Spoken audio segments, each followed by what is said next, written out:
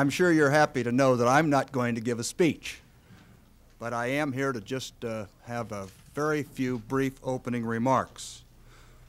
You have a copy of the President's remarks, and I would say when you look at them, they may not have a specific title, but I'm personally going to put a title on them. I'm going to say that what he has to say today is the Reagan Doctrine. That may be a little too dramatic for some, but it's only mine. If you don't like it, you can have something else.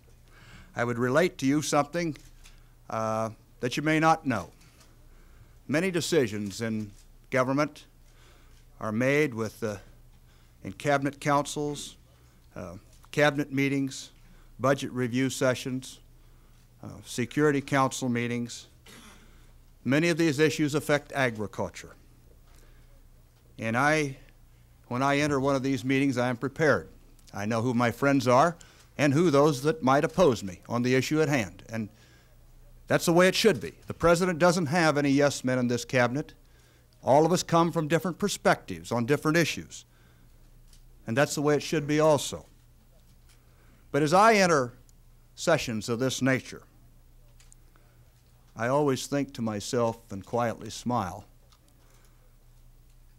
that I have one added voice of sympathy and support and understanding as we address the issue at hand. It's the voice of a rancher and a farmer, and his opinion really counts. Ladies and gentlemen, the President of the United States, Ronald Reagan. Thank you. No, no, please. No, no. Jack, thank you very much, and thank all of you very much, and welcome to the White House. We're, we just, it isn't really technically that. I know there's a street in between, but uh, this is part of that same shop over there, too. We're delighted to have you for these briefings, and I've been looking forward to meeting you personally. Now I can say I've met the one group that uh, hears as many complaints as I do. Uh, I think it was Thomas Jefferson who said that God, farmers are God's chosen people, but nowadays they're, they must be asking, chosen for what? I've always thought that when we Americans get up in the morning and see bacon and eggs and toast and milk on the table, we should give thanks that American farmers are survivors. They're the real miracle workers of the modern world. They're keepers of an incredible system based on faith, freedom, and hard work that feeds us and sustains millions of the world's hungry as well. I'm told that in 1820, a farm worker produced enough food products for himself and three other people. By 1920, he produced enough for eight people, and now the number that he feeds has risen to 77. Agriculture has also become one of our biggest employers. The meal ticket for millions of workers from farm suppliers, bankers, hired hands, all the way through the system to supermarket clerks. In 1981, the $28 billion agricultural trade surplus offset almost half of our petroleum deficit. In fact, our agricultural exports account for about 40 percent of the world's total agricultural trade and one fifth of America's merchandise export earnings. This bounty from our nation's farms has been a little too easy for us to take for granted. We've never really had nationwide food shortages. Our share of income spent for food is among the lowest of any nation, and our farmers keep on increasing their productivity. I believe that our administration is lucky to have an Illinois farmer named Jack Block, who never lets me or any member of our cabinet forget our farmers. Through your group, I'd like to thank the farmers of America for so strongly supporting our economic recovery program. You know, our plan is a little like farming. You prepare the ground, you plant the seeds, you tend the field and weed it, then you hope the harvest will bring a bumper crop, in this case for the American economy. As a part time rancher myself, I share an appreciation for this system. The chance to own your own land, to work it by the sweat of your brow, and take risks for profits. So often we forget the risks they're taking. A drought or a terrible storm is usually little more than a temporary inconvenience for city dwellers. For farmers, it can mean a whole year's work and investment wiped out.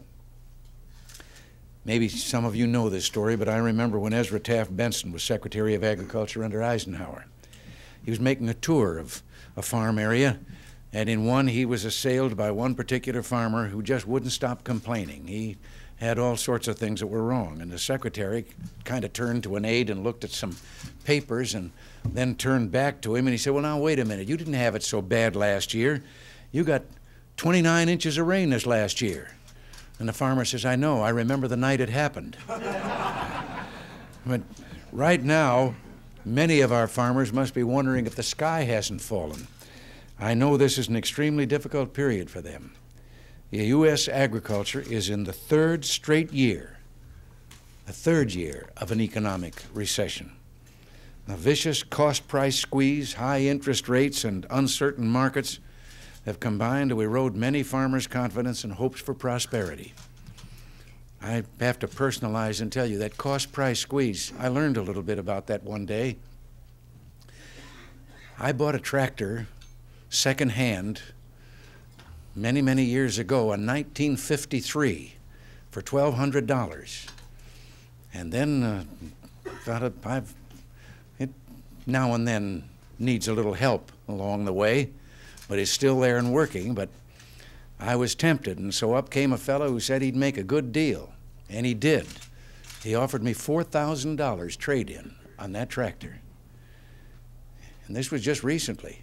And all I'd have had to do was give him 13,000 more, and I would have had a new tractor.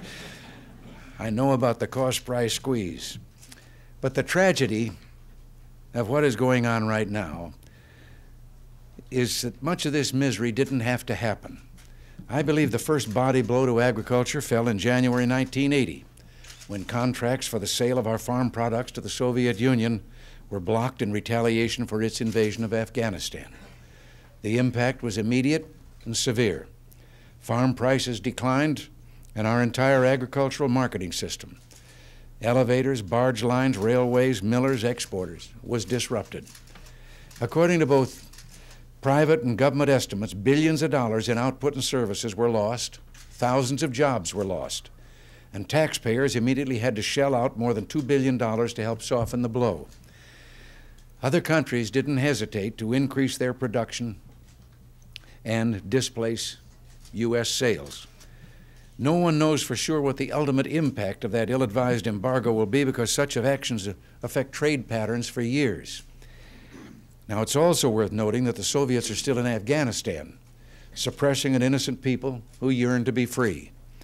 And while the Soviets experienced some economic problems, that predicted cutback in their meat production never materialized as a result of our, our action. By increasing grain imports from other sources, by seeking out meat imports from other countries, and by expanding the use of substitute feeds, the Soviets were able to maintain their meat inventories. Now, don't get me wrong.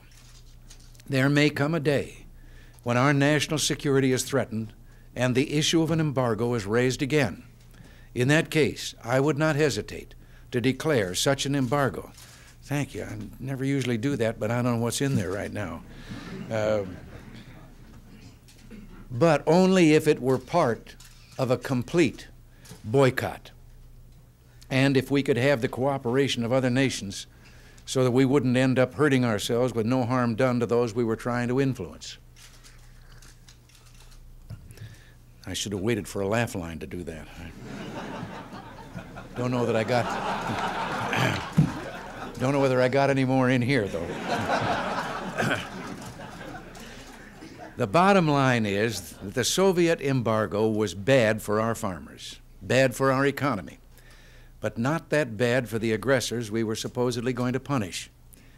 On top of the Soviet embargo, farmers were hard hit by the policies of the late 70s that led to sharing inflation and interest rates. Inflation went from 4.8% in 1976 to 12.4% in 1980. And during that period, interest rates shot all the way up from 6.5% to 21.5%. The farmer, like any other small businessman, lives or dies on his ability to sustain an adequate cash flow. And when that cash flow is reduced to a trickle by high inflation and interest rates, the farmer sometimes has no option but to shut down his operation. And to all this, the recent bumper crops, the, we understand why the cost price squeeze is so bad and threatens to strangle the vitality of American agriculture.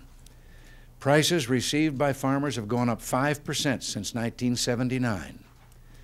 Prices paid by farmers have gone up by 25%, or 20%, I should say, four times as much in this period. One other problem I didn't mention is that excellent weather overseas has created a large worldwide surplus. The one exception, of course, is the Soviet Union. You know, I can hardly remember a year when Soviet harvests were not victimized by bad weather. And I've seen a lot of harvest seasons, as I'm constantly being reminded. And I'm determined to do everything that I can to help our farmers get out of their terrible bind. I've listened, asked questions, and probed for answers. I think we know what needs to be done to get agriculture back on track. As one of the one of the first things is to make the federal government get its own house in order so we can reduce its claim on our national resources and end its interference with the marketplace. That's what our economic recovery program is all about. And let me say again how grateful we've been to receive the strong support of the farm community. In our first 12 months, we've cut nearly in half the growth in federal spending. The inflation rate has dropped to 8.9%, and since October 1st, it's running about 4.1%. Last year's drop in inflation means that an American family of four, earning the median income of $24,000, had $754 more in purchasing power than if inflation had not come down. Prime interest rates were 21.5%, as I said, at the end of 1980.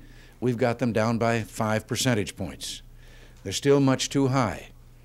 But if everyone stiffens their spine and does what still needs to be done on spending, we'll bring those interest rates down more. The growth in regulations has been cut by a third.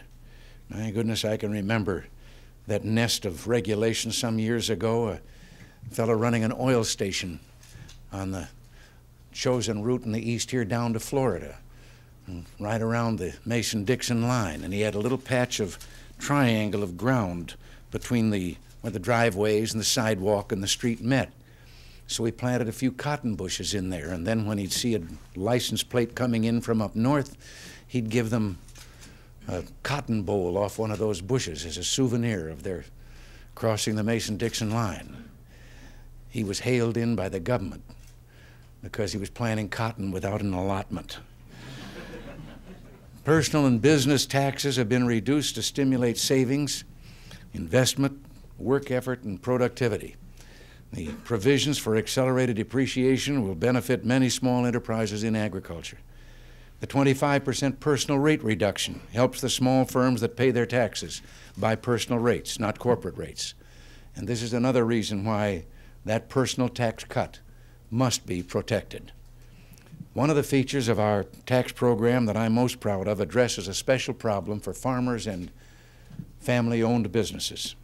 It's not right that widows and children must lose just to pay Uncle Sam what generations of love and toil created. So the estate tax exemption will increase to $600,000 by 1987, and of even greater help, there will be no estate tax for a surviving spouse, the widow or widower. We know that the federal government also has an important role to play as partner to the farm community. I think the gist of that role is to help the farmer do what he can't do on his own promote basic research, seek out new markets, counterfeit any or counter any unfair trade practices of our trading partners, provide a measure of protection from erratic weather and natural disasters, and create the proper environment so the forces of supply and demand can more efficiently allocate resources. We're fully committed to do this. We have increased the fiscal year 83 budget for agricultural research by nearly 3% above the inflation rate. We've expanded the federal crop insurance program. We proposed a $4 million increase in the Department of Agriculture's Market Development Program and recommended that the level of agricultural export credit guarantees be maintained at the highest level in history, 2.5 billion. We ended the previous administration's Soviet embargo and withstood pressures to impose agricultural trade sanctions during the Polish crisis. We have also set out a blueprint to challenge unfair agricultural trade practices by Japan and the European Economic Community. We're challenging in the GATT the European Community's open ended use of export subsidies on certain agricultural products where we feel they've gained an inequitable share of world trade as a result of those subsidies. We're pressing the Japanese to remove non tariff trade barriers that prevent us from fully benefiting from our comparative advantage in agricultural production. The U.S. Japan Working Party will meet in Washington the week of April 12th to discuss the GATT consistency of Japan's agricultural quotas with a view toward liberalizing those restrictions. In the past eight years, our stop and go export actions have weakened our reputation as a reputable supplier. If we're to take full advantage of our agricultural resources, we must establish a clear policy for the benefit of our farmers, those who market our crops and those who buy our commodities at home and abroad. And for this reason, I am presenting today our long term policy on farm exports. The agriculture export policy of the United States will ensure three essential priorities. First, no restrictions will be imposed on the exportation of farm products because of rising domestic prices. Farm prices go up and farm prices go down. High prices signal market oriented farmers to produce more, and they will if we allow them to compete freely in export markets. This is best for everyone from farmer to consumer. Second, farm exports, as I've already indicated, will not be used as an instrument of foreign policy except in extreme situations and as part of a broader embargo. Agricultural commodities are fungible. That is, they're easily interchanged for the same commodity from other nations. For this reason, the embargo of 1980 was almost totally ineffective, and yet it caused great economic hardship to U.S. agriculture, and we won't repeat such an action. Third, world markets must be freed of trade barriers and unfair trade practices. We must continue to pursue this objective aggressively. World economic health will be improved and strengthened by freer agricultural trade. Our great agricultural system must be turned loose to benefit not only Americans, but people throughout the entire world. Now, I announce this policy with a great sense of pride, but pride in the accomplishments of U.S. farm families. Adherence to this policy will bring them deserved credits and add to the prosperity of all Americans and enhance the cause of peace throughout the world. During the first year of our administration, I think we've turned an historic corner. We're ending the destructive inflation and financial disorders of the 70s. We're restoring incentives for personal enterprise. And we've begun to dismantle the regulatory straitjacket and reverse the dangerous erosion of our military strength. Our recovery program was passed too late to avert the present painful slump brought about by past pump priming and those 21.5% interest rates. There's no quick fix for the economy or for our farmers. Weather will still be a major factor in determining when prices make a recovery. Some farmers will not make it through this difficult period of readjustment, but I think the vast majority will and they're going to discover a better environment to conduct their business and realize a meaningful profit. I am not going to turn my back on the farmers of America and undo all the good that we've begun to put in place. If we stay on course and shun retreat, we'll bring prosperity back to our farmers and to the nation's economy. Now, I again thank you very much for coming today, and I understand that I'm getting run out of here now for another meeting, but Jack Block is going to stay with you. You might have some questions that you'd like to ask, and Jack will take care of that while I move on. Again, thank you for being here.